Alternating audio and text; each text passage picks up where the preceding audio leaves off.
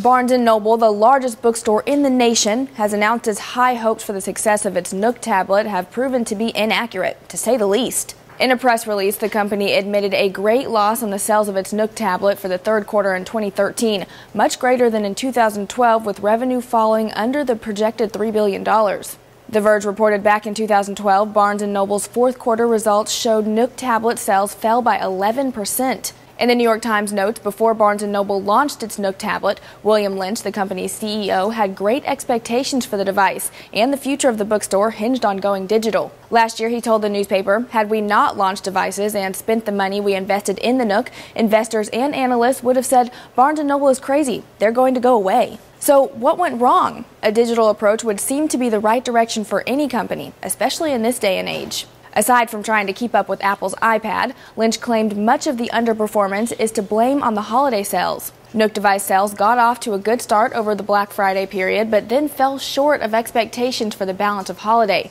We are examining the root cause of the December shortfall in sales and will adjust our strategies accordingly going forward.